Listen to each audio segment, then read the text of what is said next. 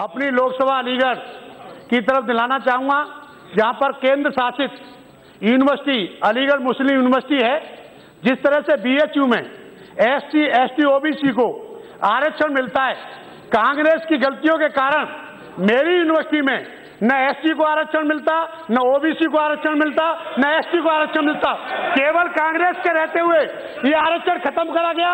HRD minister पूर्व में रहे, उन्होंने एक पत्र जारी कर दिया उस यूनिवर्सिटी को। आज मेरे क्षेत्र के एससी एसटी और ओबीसी के बच्चे तड़प रहे और उस यूनिवर्सिटी में पढ़ नहीं सकते।